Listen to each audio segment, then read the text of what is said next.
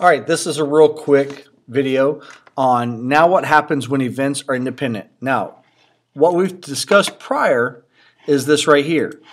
When you have the probability of A and B, well, you need to find the probability of A. Now, we're talking about flipping a coin. So we're going to look at probability that uh, the first toss is a head. Then the next one is the probability of B given A. That the that you get heads on the second toss given that you've got heads on the first toss. Now, these are independent events. That means the, the second toss doesn't depend on the first toss. All right, that's this right here. The second one does not depend on the first toss.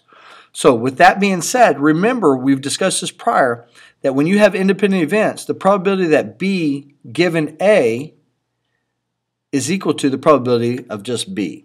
So what we're going to do is we're going to take the formula of probability of A and B, and we're going to rewrite it as the probability of A times the probability of B given A. So this is the formula. And what we're going to do is we're going to substitute. Okay, this little part right here, the probability of B, since probability of B is equal to the probability of B given A during an independent event, we're just going to replace that right there. And what I end up getting is the probability of A times the probability of B is equal to the probability of A and B. Now remember, this is only during independent events.